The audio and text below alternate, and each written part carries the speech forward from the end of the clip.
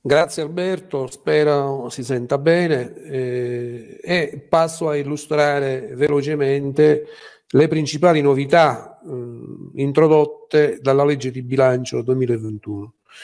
Eh, quando inizio il mio intervento di solito raccomando di fare attenzione su questi concetti, cioè quale, su quale edificio si può intervenire, quali sono gli interventi chi sono i contribuenti che possono beneficiare e fino a quando. Ora, questi temi sono stati quasi tutti toccati dalle novità introdotte dalla legge di bilancio.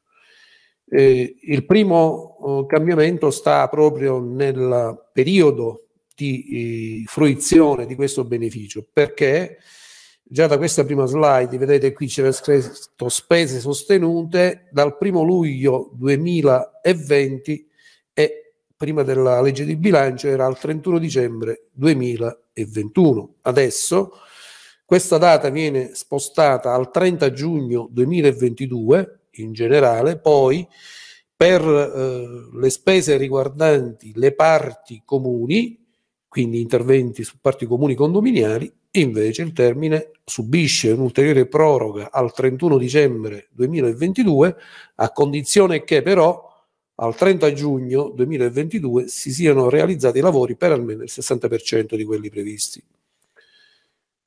Altra novità eh, per certi versi riguarda l'intervento sull'involucro. Sostanzialmente rimane confermato il vecchio concetto dell'incidenza, bisogna incidere su più del 25% della superficie disperdente lorda, quindi si tratta sempre di un intervento che deve configurarsi almeno come ristrutturazione importante di secondo livello ai sensi eh, del decreto requisiti minimi, vengono confermati i limiti di spesa, però nel comma 1 lettera A è stata aggiunta una frase che va opportunamente interpretata e capita.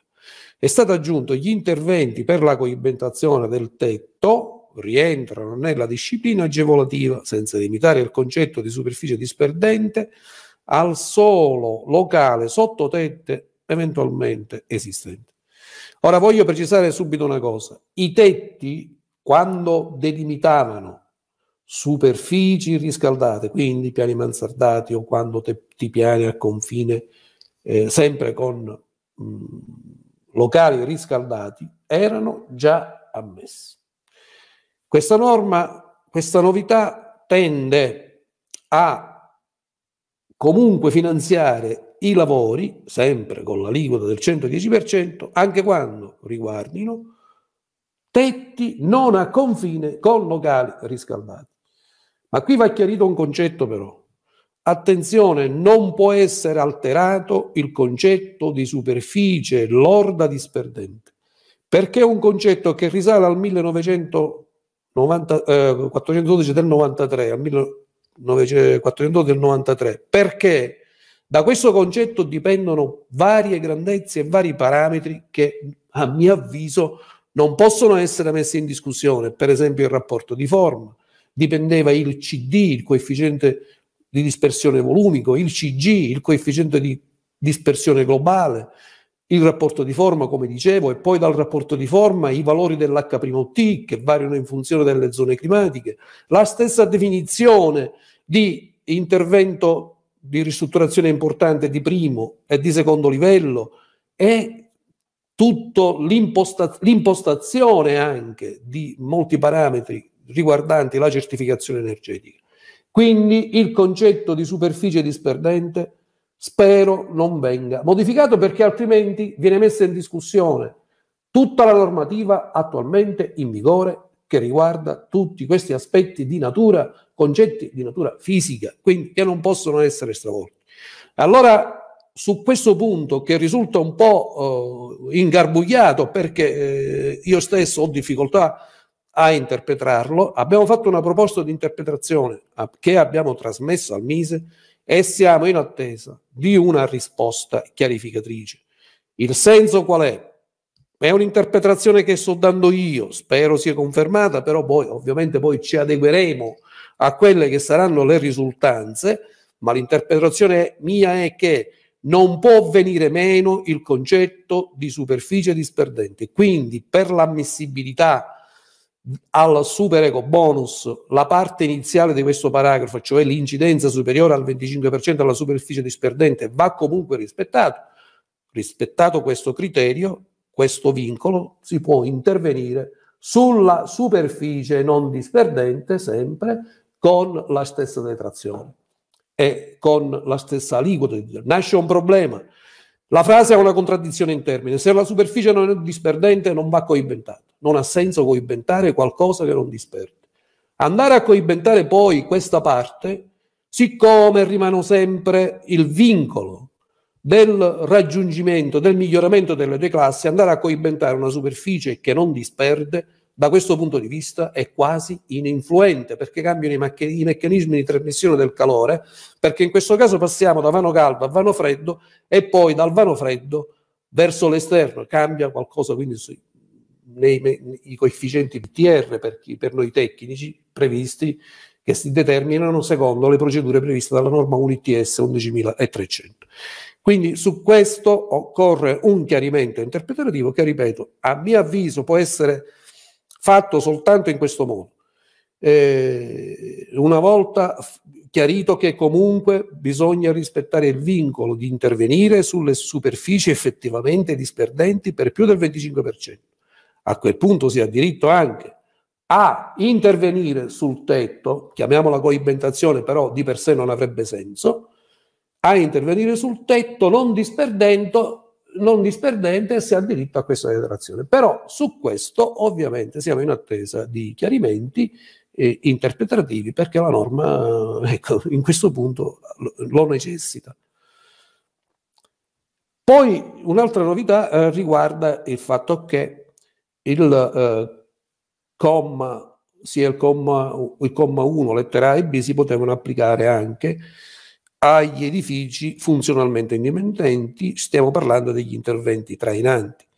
Nella definizione di eh, funzionalmente indipendenti, indipendente, la legge di bilancio ha dato una, un chiarimento e ha scritto un'unità immobiliare può ritenersi funzionalmente indipendente qualora sia dotata di almeno tre delle seguenti installazioni o manufatti di proprietà esclusiva e quindi impianti per l'approvvigionamento idrico, impianti per il gas, impianti per l'energia elettrica, impianti di climatizzazione invernale. E questo aiuta meglio a chiarire eh, questo concetto perché nella uh, formulazione iniziale, secondo l'interpretazione che era stata data inizialmente, già addirittura bastava che eh, l'accesso fosse comune, fosse collegato da un, da un, tratto di strada privata comune o comunque non di proprietà esclusiva che metteva in discussione il concetto di funzionalmente indipendente. Invece qui eh, c'è un'estensione che chiarisce eh, in maniera estensiva questo concetto.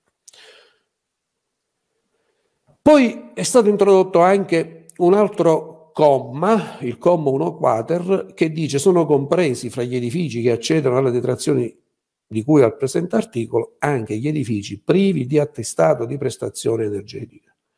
Attenzione, e qui una prima precisazione. Privo di attestato di prestazione energetica non significa privo di impianto termico, perché voi sapete tutti che un edificio, per un edificio privo di impianto termico, si può fare, si poteva fare e si può fare l'attestato di prestazione energetica secondo quanto previsto dal terzo decreto 26 giugno 2015, cioè quando un edificio è privo o un'unità immobiliare è priva di impianto termico, si simula l'impianto termico assumendo per quell'impianto eh, il, i rendimenti minimi previsti dal decreto requisiti minimi che sono imposti nel caso in cui si passa a una nuova realizzazione. Cioè il concetto qual è? Studia l'involucro, esamina quello che è, se supponendo supponiamo di dotarlo di impianto termico, siccome se lo dobbiamo dotare di impianto termico, i requisiti previsti dal uh, decreto requisiti minimi devono essere comunque rispettati, allora li assumiamo in via ipotetica e otteniamo quindi la classe energetica che ne consegue. Quindi sono quei casi in cui, eh, soltanto in questi casi, l'impianto può essere simulato, ma ciò sta a significare che un impianto, un edificio, una unità immobiliare priva di impianto termico può essere dotata, anzi deve essere dotata, e se del caso, quando la legge lo prevede, può essere dotata di attestato di prestazione energetica simulando gli impianti. La simulazione degli impianti in questo caso lo si fa solamente per due servizi, e cioè la produzione di acqua calda sanitaria e il riscaldamento invernale. Quindi edifici privi di attestato di prestazione energetica. Ma che cosa ci si riferisce questo COM 1 quater? Per, ecco, a edifici che possono essere sprovvisti di copertura, di uno o più muri perimetrali o di, o di entrambi. Quindi sono edifici che eh, insomma già sono semidiluti, collabenti, quindi che sono malmessi. Se sono malmessi, che significa? Che li posso demolire e ricostruire, ma se demolisco e ricostruisco, questo intervento si configura come ristrutturazione importante di primo livello e come eh, ristrutturazione rilevante ai sensi del decreto legislativo 28 2011 siccome ai sensi del, essendo una ristrutturazione importante di primo livello, deve soddisfare i requisiti previsti per le nuove costruzioni. E qui bisogna fare una precisazione. Dal il primo gennaio 2021 sono entrati in vigore i limiti più restrittivi sulle trasmittanze per le nuove costruzioni di tutti gli edifici.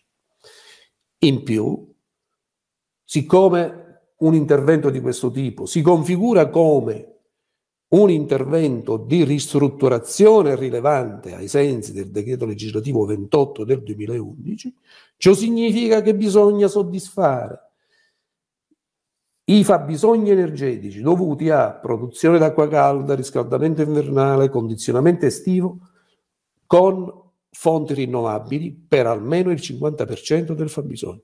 E in più bisogna installare un minimo di potenza elettrica da fonte rinnovabile secondo una formula stabilita sempre in questo allegato 3 del decreto legislativo del 2011, 28-2011, che sostanzialmente mm, dice che bisogna dimensionare questo impianto, che ripeto è obbligatorio, eh, in modo proporzionale alla superficie dell'impronta impianta dell'edificio. Mettendo assieme questi due concetti, cioè il soddisfacimento delle trasmittanze e dei requisiti previsti per nu- le nuove costruzioni e quindi eh, in vigore dal 1 gennaio 2021, assieme al concetto di ristrutturazione rilevante, questi due concetti eh, messi assieme portano a un risultato. L'edificio demolito e ricostruito dal 1 gennaio 2021 deve avere le caratteristiche NZEB cioè di edificio ad energia quasi zero, cioè deve raggiungere e raggiungerà per legge la classificazizione più alta possibile sostanzialmente. Quindi sarà un edificio N0. Qui è stato scritto raggiungendo una classe energetica in fascia A. Sì, sarà in fascia A sicuramente, ma in più avrà una caratteristica. Sarà edificio ad energia quasi zero. Le fasce A sapete che sono a1, A2, A3, A4, sono quattro fasce, quindi saremo sicuramente nelle fasce più alte sarà A3 o A4, probabilmente sarà A4, e, e, e in più NZ.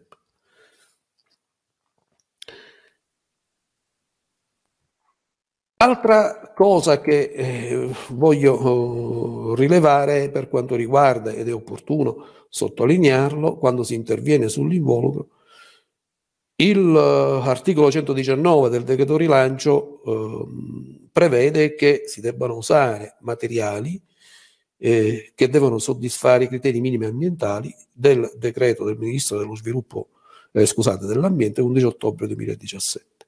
Accanto a questo, io non mi stanco di dire, di porre l'attenzione sulle caratteristiche di questi materiali, cioè sulle caratteristiche termiche che devono essere certificate secondo quanto previsto dalla normativa vigente. Su questo aspetto, in collaborazione con ANIT, l'Associazione Nazionale per l'Isolamento Termico, abbiamo elaborato un documento che abbiamo pubblicato sul nostro sito, che è reperibile cliccando su questo link indicato dalla freccia il, alla pagina www.efficienzaenergetica.enea.it slash detrazioni fiscali eccetera. Vi invito tutti a leggere questo documento perché in questo documento c'è scritto quali sono le procedure delle, di certificazione dei materiali quali le, eh, e quali sono le norme eh, di eh, riferimento. Quindi attenzione all'utilizzo di materiali che siano rispondenti alla normativa perché eh, non si può correre il rischio di usare materiali non conformi, perché in questo caso sì che eh, si può correre in, in, caso di verifica il rischio poi di vedersi revocati i contributi. Mm, per quanto riguarda poi la parte impiantistica, sostanzialmente non ci sono novità, in realtà una novità c'è. Perché? Mm, il comma 1 dell'articolo 119 parla di interventi trainanti. Poi nel comma 2 dice guardate che se si fanno gli interventi trainanti si possono realizzare con avendo diritto alla stessa aliquota di detrazione anche interventi trainati. E gli interventi trainati sono tutti quelli previsti dal eco bonus, richiamati quindi dall'articolo 14 del decreto legge 63 2013. In questo comma però è stata aggiunta una frase. È stato detto che sostanzialmente sono interventi trainati anche gli interventi previsti dall'articolo 16 bis, comma 1 lettera E del testo unico di al Presidente della Repubblica PR 917-86. Cioè questi sono interventi di abbattimento delle barriere architettoniche. Quindi se questi interventi vengono eseguiti congiuntamente agli interventi di efficienza energetica, sempre nel rispetto di quello che prevede il comma 3, cioè del fatto che bisogna migliorare l'efficienza energetica, migliora, migliorando la classe energetica di almeno due classi, allora si possono realizzare anche questi interventi eh, di abbattimento delle barriere architettoniche. Però qui nasce una domanda, quali sono i limiti di spesa previsti? Apparentemente non ci sono, in realtà ci sono, perché si rimanda agli interventi previsti dall'articolo 16 bis, ma tutto l'articolo 16 bis del DPR 917 ha un limite di spesa che è di 96.000 euro. Ma all'interno di questi 96.000 euro state attenti che ci sono anche gli interventi di ristrutturazione, quindi anche gli interventi antisismici. Per cui realizzando questo significa che avremo a disposizione per l'intervento antisismico una risorsa in meno. Complessivamente comunque bisogna stare dentro i 96.000 euro per unità immobiliare. Poi per quanto riguarda la parte impiantistica non ci sono sostanziali novità, tutto viene confermato eh, anche per quanto riguarda eh, gli interventi trainati che si possono fare direttamente laddove ci sono edifici sottoposti a vincolo o laddove ci sono impedimenti eh, pre previsti dai comuni e quindi impedimenti eh, del regolamento edilizio eh, che eh, non consentono la realizzazione del cappotto eh, esterno. In merito a questi impedimenti voglio, fare, voglio richiamare la vostra attenzione sul fatto che a mio avviso devono essere impedimenti reali. Faccio un esempio, supponiamo di avere un edificio con una facciata vincolata, ma è la facciata prospiciente alla via principale. Poi può avere superficie disperdente verso cortine, cortili interni, caveri, eccetera. Allora, l'impedimento alla realizzazione del cappotto deve essere reale, cioè significa che le altre superfici non vincolate devono essere inferiori al 25%, perché se superano il 25% la possibilità di intervenire ce l'ho e quindi l'impedimento secondo me non esiste più, eh, perché ho il modo di intervenire. Questa è l'interpretazione, quindi l'impedimento deve essere un impedimento reale, oppure se c'è un impianto centralizzato anche se l'edificio è vincolato, nessuno impedisce di intervenire sull'impianto centralizzato, perché già l'impianto è stato fatto, c'è, se lo posso migliorare, è un intervento trainante, quindi perché il vincolo, secondo me, in questo caso decade pure. Eh, in ogni caso, i criteri da osservare sono quelli previsti dall'ex comma 3 ter, ex comma 3 ter del decreto legge, eh, articolo 14 del decreto legge 63 2013. Questo decreto prevedeva l'emanazione dei decreti attuativi, i decreti attuativi sono stati emanati e sono stati emanati il 6 di agosto 2013, pubblicati in Gazzetta il 5 di ottobre 2013.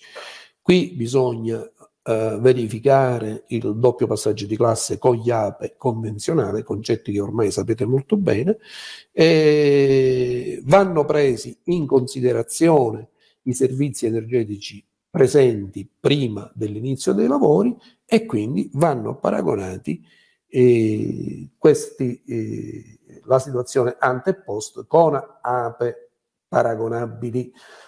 Che significa APE paragonabili? C'è stato un chiarimento in una FAC dell'Agenzia delle Entrate che è stato detto sostanzialmente un concetto banale, ma fa capire mh, molte cose, perché arrivavano domande del tipo ma se c'è l'APE precedente della mia singola unità immobiliare in un condominio, come faccio? Lo utilizzo? Lo utilizzo? E vi dico senza mezzi termini che l'APE preesistente non ha pochissima importanza e spiego perché. Perché gli APE, l'APE convenzionale o relativo a una singola unità immobiliare, quindi edificio di tipo unifamiliare, o relativo all'intero edificio, lo devo comunque fare nella situazione finale e va fatto usando metodi completi e non metodi semplificati. Molti degli hub preesistenti erano fatti magari eh, metodi, in modo molto veloce e spesso per produrre carta e dimostrare che l'APE c'era e quindi poter stipulare un contratto, e fatti con metodi semplificati.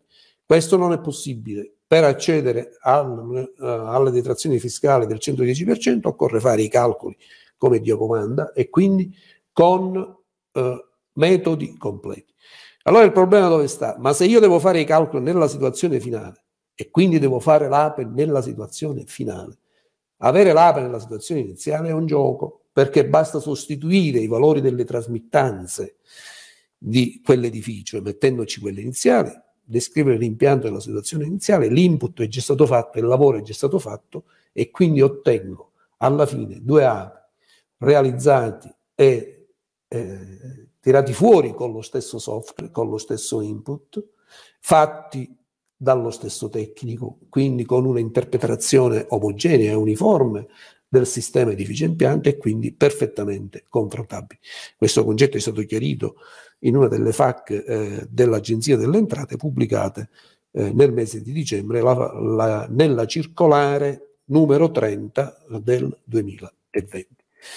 Per quanto riguarda i requisiti, come vi dicevo, il decreto di riferimento per i lavori con data di inizio a partire dal 6 di ottobre è il decreto requisiti ecobonus, eh, e poi, eh, vabbè, come è possibile installare i sistemi fotovoltaici, è possibile mh, la gestione del, eh, dell'utilizzo dell'energia con la gestione eh, dell'energia prodotta e le colonnine di, di, ricarica. Sulle colonnine di ricarica c'è stato un aggiornamento sui prezzi eh, ammessi, e cioè 1.500 euro fino a edifici con 8 unità immobiliari, 1.200 dalla nona in poi, perché altrimenti eh, per come è scritto sembrerebbe che addirittura eh, quando ce n'ho 9 avrei diritto a una, a, a, un a, una detrazione minore.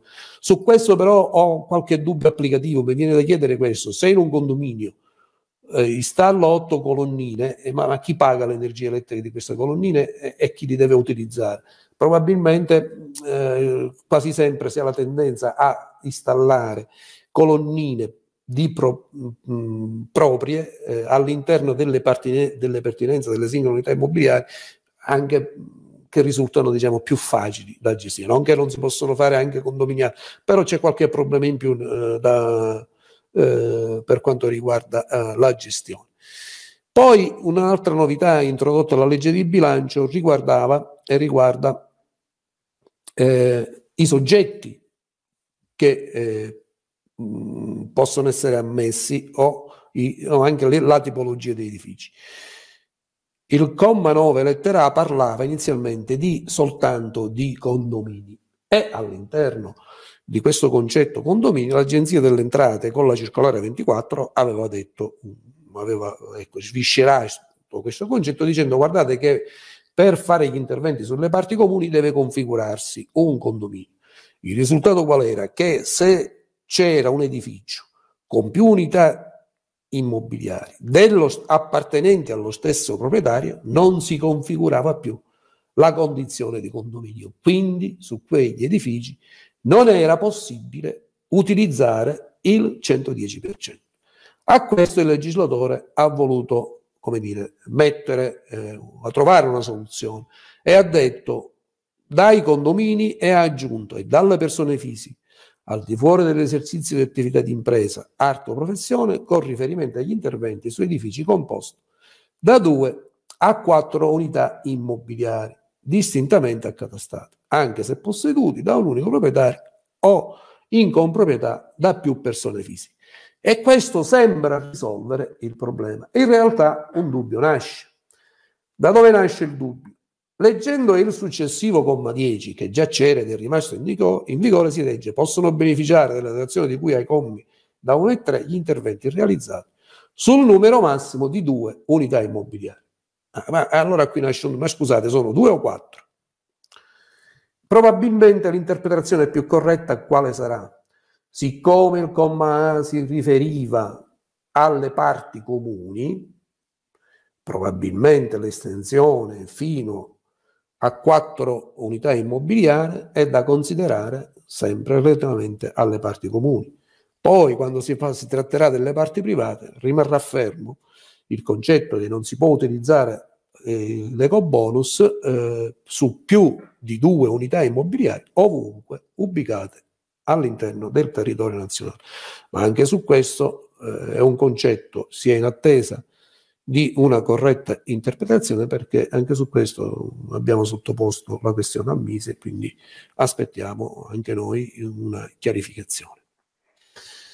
Mm, detto ciò, eh, poi mm, bisogna passare al decreto asseverazioni, che è il fatto che quando si interviene, si fanno lavori di questo tipo, eh, il occorre la presenza di un tecnico che deve asseverare che cosa? Deve asseverare sostanzialmente che i requisiti tecnici previsti siano stati rispettati e che siano stati rispettati i costi massimi unitari, facendo riferimento ai preziari regionali oppure ai preziari della DEI. Nel caso che eh, ci siano casi in cui l'intervento non sia espressamente contemplato, o meglio, il tipo di tecnologia adottata non sia espressamente contemplato, il tecnico può ricostruire analiticamente il prezzo. Eh, dopodiché queste cose sono dette con chiarezza all'interno del punto 13 dell'allegato A del decreto requisiti minimi, che, eh, perché questa attestazione, tra l'altro, prevede anche un allegato importante che è il computo metrico. Infatti c'è scritto il tecnico abilitato stesso che sottoscrive questa asseverazione allega il computo metrico e assevera che siano rispettati i costi massimi per tipologia di intervento nel rispetto dei seguenti criteri. Da precisare che questa, l'asseverazione, questa, per accedere al super eco bonus, quindi al 110%, va fatta secondo un modello prestabilito è pubblicato con il decreto Mise del eh, 6 agosto 2020. Quindi ha un modello prestabilito.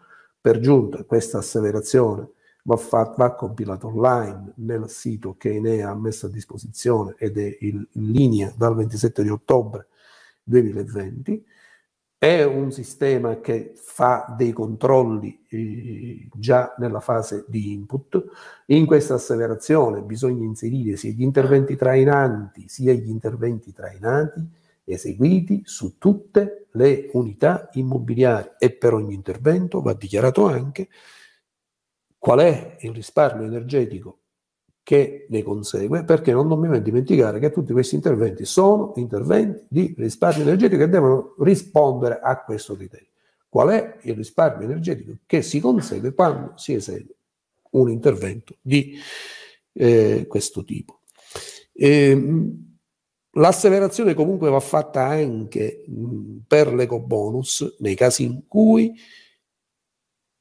eh, è obbligatoria farla perché ci sono casi in cui si può, come dire, eh, in alternativa all'asseverazione si può, si può, utilizzare una documentazione più semplice che sono le certificazioni rilasciate dai produttori dei, eh, delle macchine o degli infissi e così via.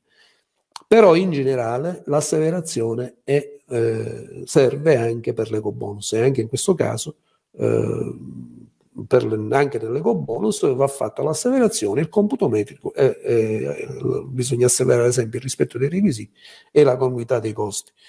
Spesso eh, c'è confusione su questo, alcuni pensano che se si fa eh, per esempio l'intervento sul bonus facciata non c'è bisogno di asseverazione, cioè, non è assolutamente vero perché quando si interviene sul bonus facciata, siccome il bonus facciata è, sì, ed è eh, energeticamente rilevante, cioè si interviene su più del 10% della superficie disperdente, questo diventa un intervento di efficienza energetica, bisogna rispettare il decreto dei requisiti minimi e mettendo assieme queste cose eh, l'interpretazione che è stata data già l'anno scorso, non quest'anno, è che bisogna compilare l'apposita scheda dell'ecobonus e inviare i dati ad Enea. Nel sito ecobonus però ma in questo caso, siccome è un intervento che riguarda l'involucro, bisogna fare l'asseverazione, l'asseverazione corredato di computo metrico. Il decreto di riferimento è il 6 agosto. Questa asseverazione può essere fatta per stati finali o anche per stati di avanzamento e eh, serve per stati di avanzamento quando si vuole subito fruire, si vuole optare per la cessione del credito o per lo sconto in fattura. Eh, va compilato nel nostro portale. Il portale, come dicevo, esegue delle verifiche. Per esempio, se una trasmittanza no, non è congruente eh, con eh, il tipo di intervento che si sta facendo, tenendo conto delle zone climatiche, eh, c'è subito la segnalazione. O se il rendimento del di, di un generatore, per esempio l'efficienza media stagionale caldea e condensazione, se non è corretta viene subito segnalato e così anche se il COP non è corretto viene segnalato o se l'ER di una pompa di calore non è, non è corretto viene anche segnalato. Così come anche in automatico vengono fatti dei controlli sui costi massimi ammissibili, sulla spesa massima ammissibile.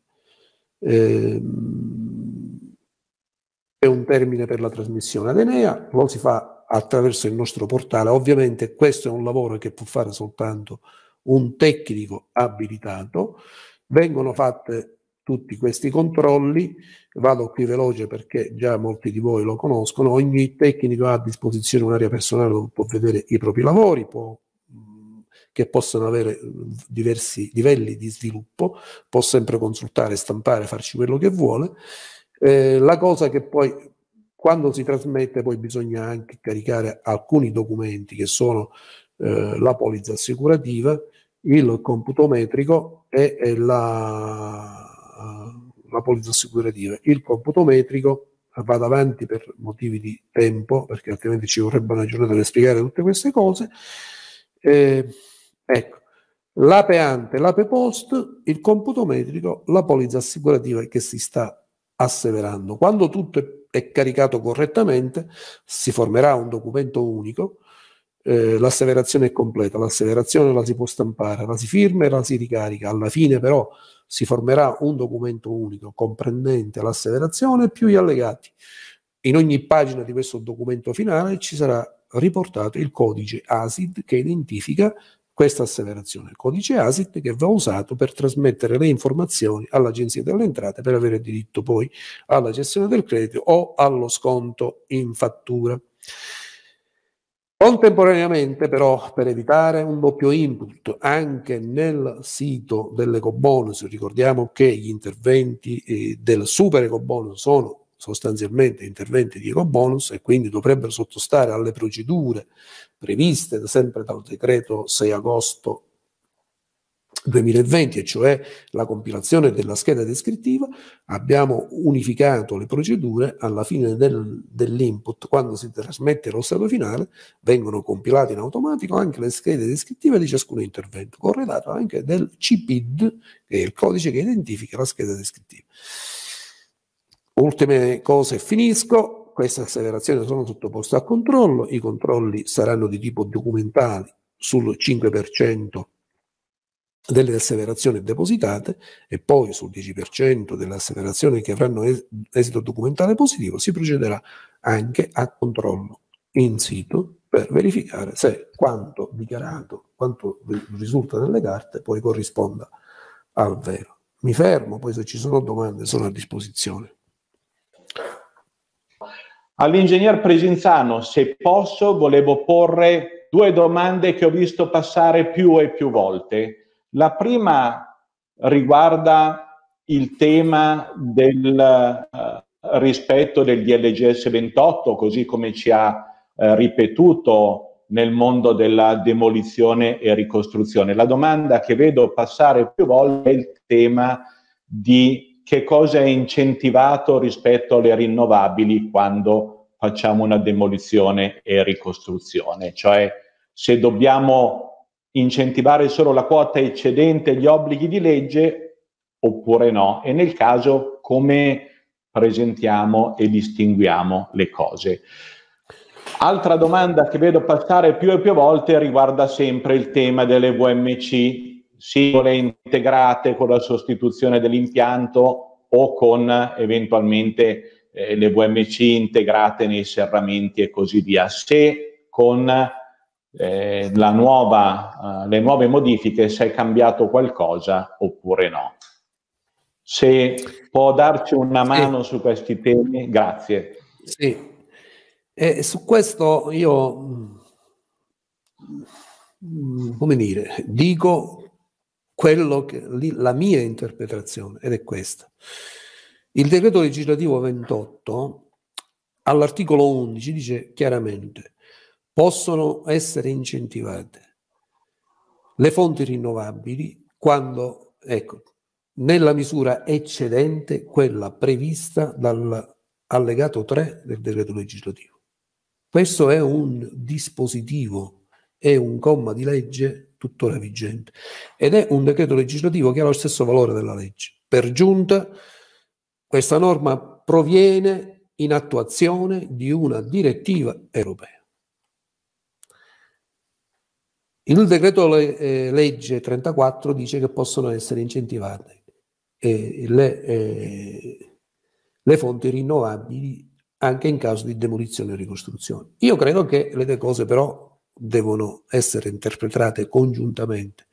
Quindi la mia sarà anche una interpretazione, come dire, prudente, perché dietro c'è anche una spesa.